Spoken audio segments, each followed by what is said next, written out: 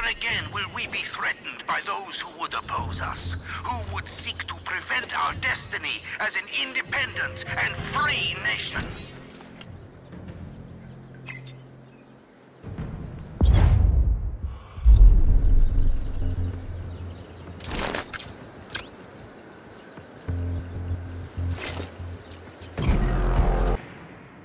A ver, a ver, ¿qué pasa?